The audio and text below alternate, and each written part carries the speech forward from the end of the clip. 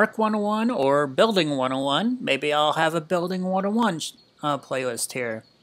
Building 101. Here's a quick uh, building tip. How to not have your pillar sticking through the top of a ceiling tile. So we got it like that, going like that. And I'm going to go up here. See, the nub is sticking through. So, so in order to get that nub to disappear, first we go like this. We have a pillar halfway through. And instead of having the nub set up, then we go like this.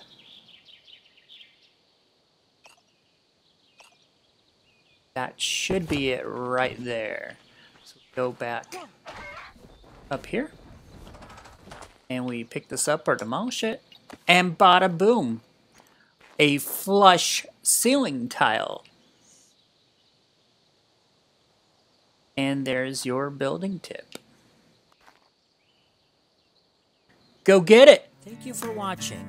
Be sure to like and subscribe Commenting is the best way to send any ARK video suggestions to me.